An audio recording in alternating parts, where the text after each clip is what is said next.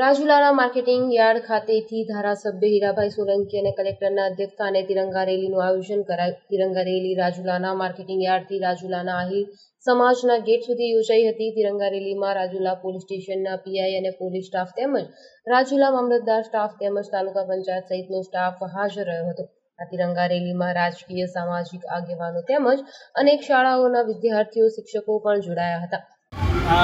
આખા ભારત દેશમાં ભારતીય જનતા પાર્ટી દ્વારા ઘર ઘર તિરંગા અગિયાર, બાર અને તેરનો કાર્યક્રમ જ્યારે અમને સોંપવામાં આવ્યો હોય ત્યારે યશસ્વી વડાપ્રધાન નરેન્દ્રભાઈ મોદીજીના એક જ શબ્દમાં આખા દેશ ભારતના દેશમાં ઘેર ઘેર તિરંગા જ્યારે લહેરાવાનું કામ આપણું આન, બાન અને શાન આપણા દેશની તિરંગા યાત્રા જ્યારે અહીંયા નીકળી હોય ત્યારે રાજુલા શહેરના પ્રજાજનોને અધિકારીગણ પદાધિકારીગણ સહિતના બાળકો સાથે જ્યારે આ તિરંગા યાત્રા નીકળી હોય ત્યારે આપણે આન બાન અને શાન બાળકોના દિલમાં એક દેશ ભાવના જાગે દેશભક્તિ જાગે એ હેતુસર આ દેશને જ્યારે આઝાદ કરવા માટે ઘણા બધા વીરોએ શહીદી જે ઓરી છે, એને યાદ કરવા માટે એને સ્મરણ માટે આજે આ તિરંગા યાત્રા કાઢી છે. ત્યારે આવતા પંદરમી ઓગસ્ટની શુભકામના બી આ સાથે હું પાઠવું છું અને ખૂબ મોટી સંખ્યામાં આપ ઉપસ્થિત રહ્યા, મીડિયા ઉપસ્થિત રહી.